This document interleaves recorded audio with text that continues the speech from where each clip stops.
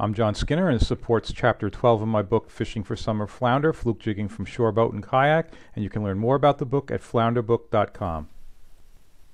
I'll be making uh, fluke bucktails in this video, but uh, the steps are pretty much the same for bucktails for uh, stripers and other fish as well.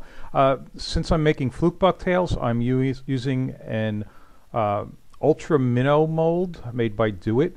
Uh, this particular mold makes jigs of one half, three quarter, one, and one and a half ounces. So I'm very particular about uh, the hooks in my jigs uh, for any species, but uh, for fluke I'm using Gamakatsu 604 as the style.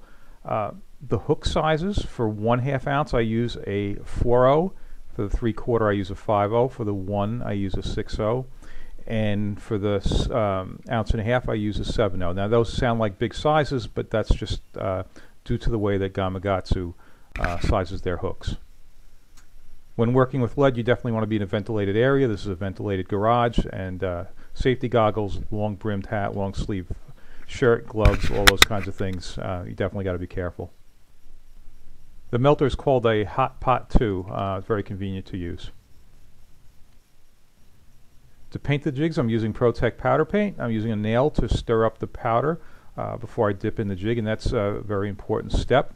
I've got a, a uh, small propane torch going there, and I'm just going to heat this jig, get it up pretty hot, uh, heat it evenly, and then what we'll take is a quick dip into the powder, and it will be done. What you want to see when you dip that in there is you want it to come out and look wet. Uh, it's wet, it's hanging up on the wire, and, and that one's good. And after I pulled it out of the paint, you, you probably noticed that I gave it a couple of real good taps on the side of the jar, and that, that's really important to uh, knock off any excess powder.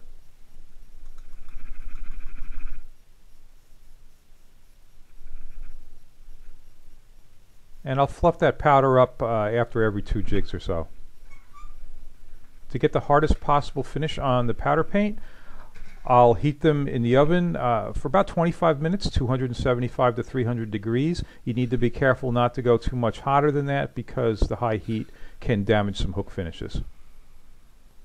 So I don't do this professionally. I'm doing this uh, for my own purposes.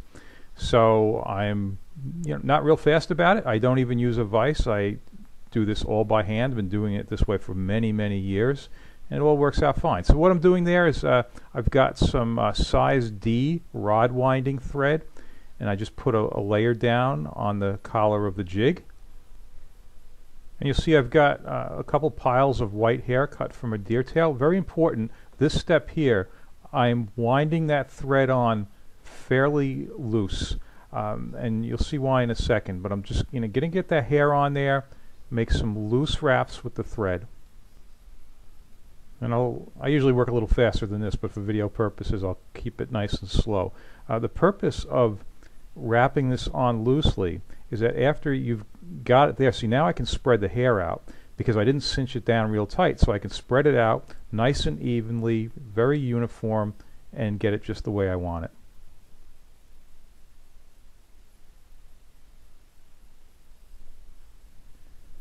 Now I can uh, wrap it tightly to make sure that that hair is going to stay on. And you know, I'll go around a bunch of times, you know, make sure that everything's uh, nice and tight.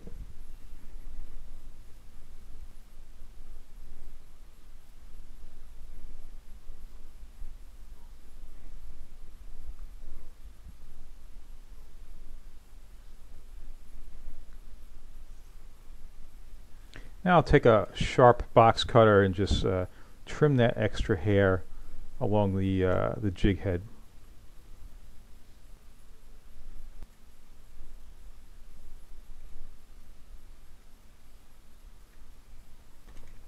Now once all of that is trimmed up nicely, uh, I can resume the tight wrapping and, and really this is going to be the, the finished wrapping and I can go all along that edge that I just cut and I'll end up with a nice uh, uniform transition there from the head to the thread.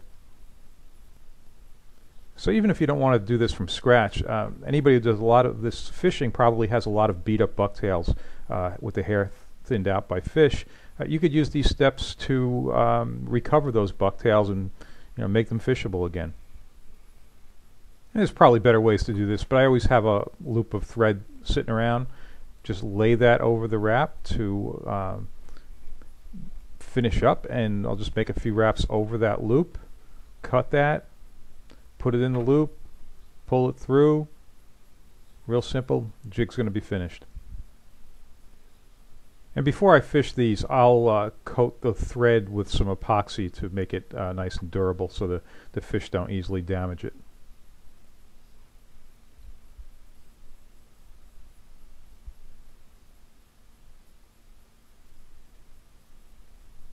And the nice thing about making your own bucktails is that you can have some variation, experiment a little bit. Uh, different color heads and different color hair and uh, eyes. And it's just uh, nice to catch fish on something that you've created. All right, I encourage you to check out Fishing for Summer Flounder, fluke jigging from shoreboat and kayak at flounderbook.com.